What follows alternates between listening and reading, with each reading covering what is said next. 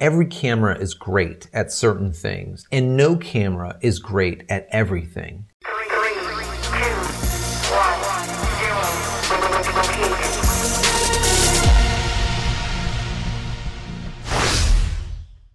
Hey everybody, welcome back to the vlog. So this is going to be a really short vlog. It is in response to one of the comments that we received about the last video. It was a lot of like push-pull on that video. You know, you got the people that absolutely are just in the Panasonic camp that think that, you know, I'm just hating on the camera, which I'm not.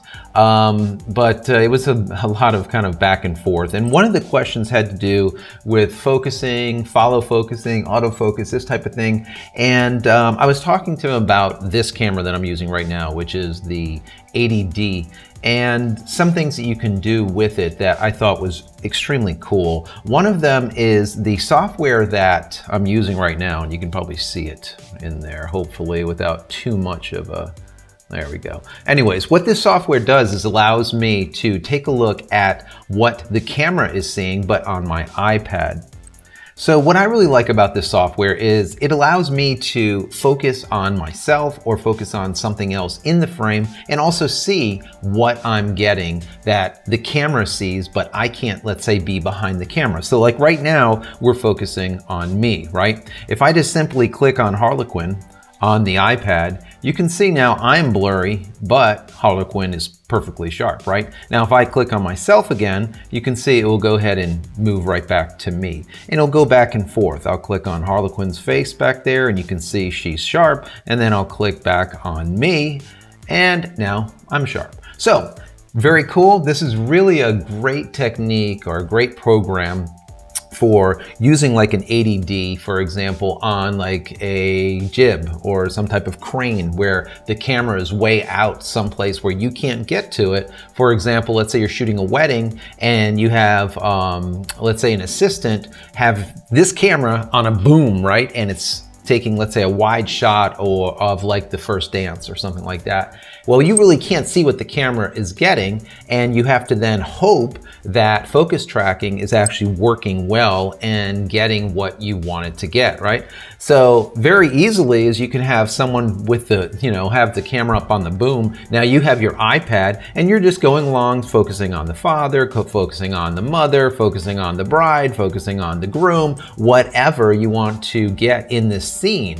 Very, very useful. So going into the Panasonic G5. Now, um, you know, I was talking about how the G5 follow focus was really not that great. And there was a couple of videos I notated in the comments in the last video that you can go see. I didn't get a chance to um, actually review the camera itself. I just haven't had time. I just been absolutely slammed.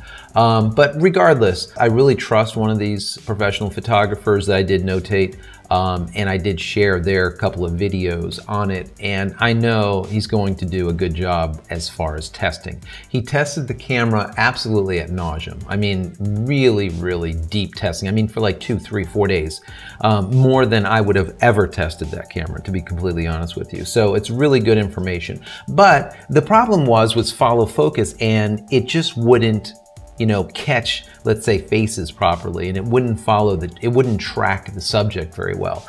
And of course, you can use this type of method where, you know, you're just going around and clicking wherever you want to click. Panasonic does have a similar program that will allow you to do this. But the problem is, is how about if you don't have that capability, number one, and you are a run and gun shooter and it's just you, and that's really about it. So at that point, you have to rely on the camera to catch the faces and hook up on me, for example, and not Harlequin behind me, even though there's a face on her. It's very, very problematic as far as what I see with the GH5's tracking. I mean, I couldn't use it. Now, I'm hoping that this can be resolved with for example, a firmware update. I really don't know. I don't know if it's internal to the camera if it's actually um, just you know, a software issue or is it hardware? I really don't know.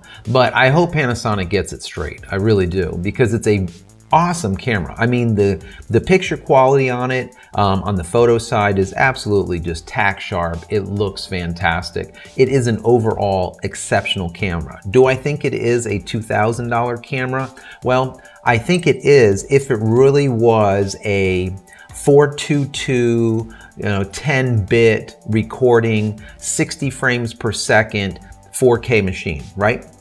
That actually track focus properly. I would say yes, 2000 bucks, it's a steal because there's nothing that's doing 4K 60 frames that's at that price out there. So I do think it would be an awesome buy. But as just a photo unit and that's it, or maybe um, let's call it a video unit, a 4K video unit, but you have to pull the focus yourself, or you have to like, for example, with this, select you know, here I'm gonna code and select on Harlequin and now she's in focus or then select back on me and now I'm in focus where I'm actually having to do that. I don't know if $2,000 is the right price specifically for that camera, but that's just my opinion. Now, you know, I know people get, like I said, you know, crazy when it comes to um, quote unquote camera bashing and they think that a lot of times if I'm doing a review on something and I'm telling you my thoughts on it, well, that's just my, you know, my thoughts. Take it with a grain of salt. The same way as in the last video I said, I really think there's going to be layoffs happening at uh, Panasonic.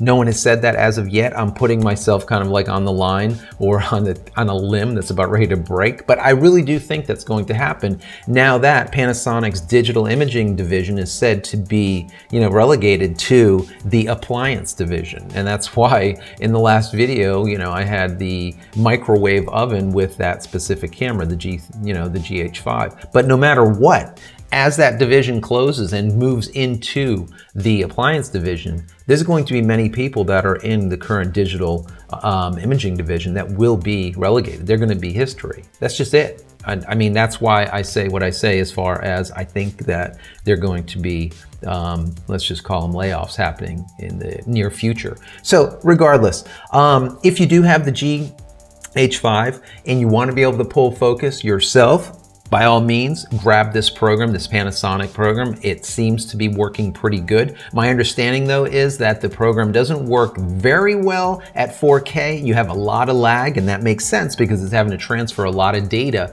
to your iPad or to your smart device of whatever kind. So um, also bear in mind these programs, either for Canon or uh, for Panasonic, they work on not only an iPad, but they work in Android. They also work on iPhones as well. Um, I use this 80D at the end of a boom or on set up on a tripod some far, you know, someplace like 20 feet away.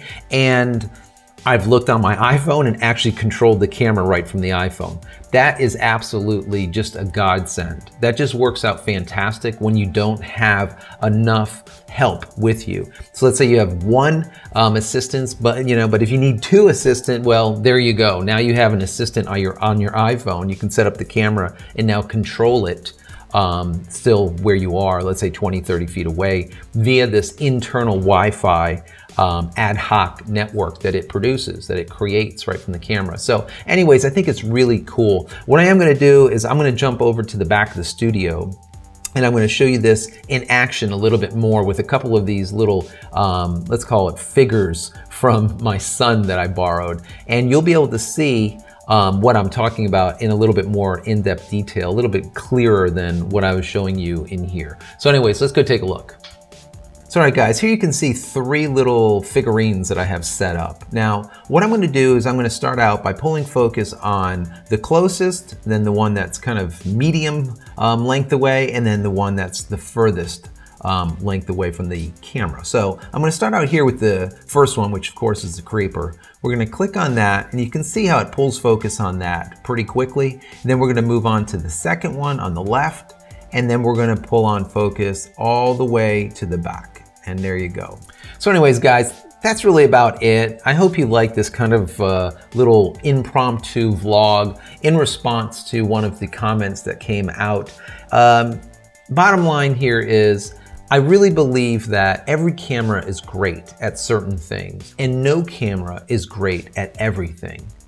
Being that said, you find the camera that works for your needs, what you need it for. For me, like I've said in the past, I'm a full frame shooter, so all of my events are done on full frame.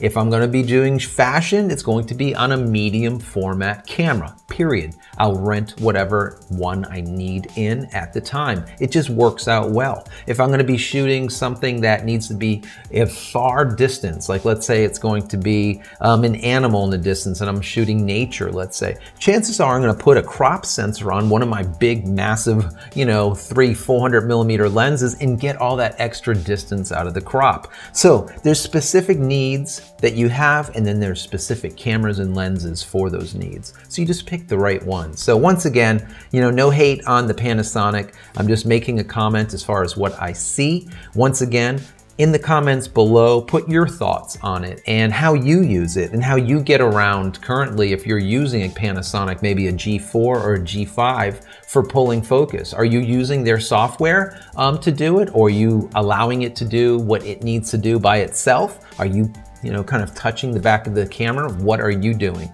for your focusing? So that's it guys. I hope you enjoyed the content. If you did, throw me a thumbs up and don't forget to subscribe to the channel so you can get all of my nonsense when it becomes available.